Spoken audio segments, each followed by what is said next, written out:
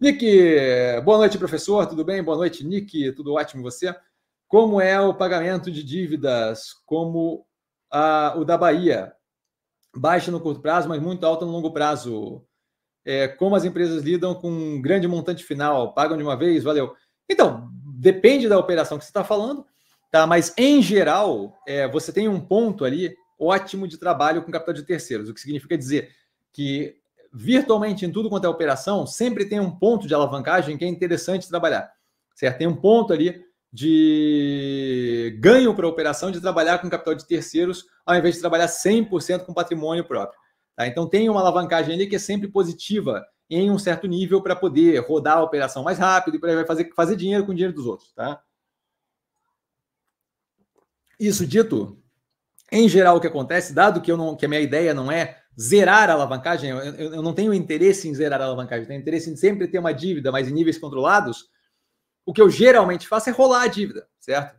Então, a dívida tá para vencer lá no final, certo? Aí eu é, é, o que acontece consistentemente com várias operações aí, certo? Eu faço liability management, eu faço gestão da alavancagem.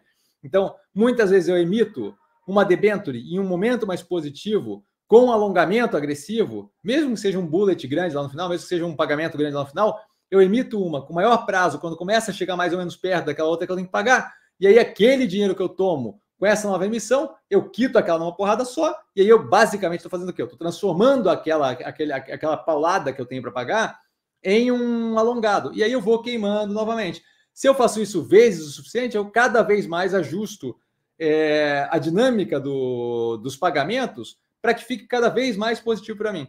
Mas a ideia é, em geral, fazer gestão da alavancagem e não zerar a alavancagem. No caso da multi, foi zerada a alavancagem pura e simplesmente para não entrar é, em conflito com covenants e aí poder ser cobrado antecipadamente.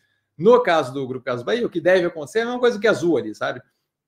Você tem é, um trabalho de reperfilamento da dívida, você bota a dívida de um jeito que não incomode a operação, que deixa ela retornar o fluxo de caixa, blá, blá, blá quando você chega lá na frente, próximo do pagamento de é, final, é, você está numa situação que deveria estar melhor, porque você fez todo o trabalho de reconstrução da qualidade operacional e por aí vai. Aí você faz o quê? Você emite a mercado um endividamento que deve ser recebido meio com termos melhores do que o que você tem agora, porque quando você fez aquele inicial, você estava numa situação pior.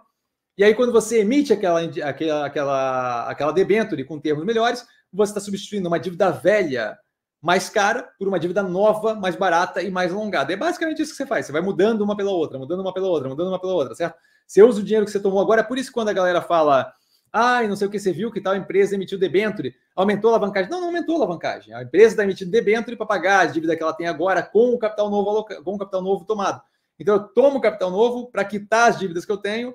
Basicamente, eu estou trocando um pelo outro. Então, basicamente, tudo que eu estou fazendo é ajustando o nível de, de, de custo médio, o prazo da dívida, formato da, do, do, cronograma de pagamento. Então é basicamente isso. Em geral, o que eu imagino que deva ser feito é isso: é rolar, e rolar, e rolar, e rolar, e continuar rolando a dívida.